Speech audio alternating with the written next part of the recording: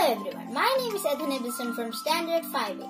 For the thought of the day, I would like to share an amazing quote by famous motivating author Louis Hay. It is as follows I choose to make the rest of my life the best of my life. I repeat it, I choose to make the rest of my life the best of my life.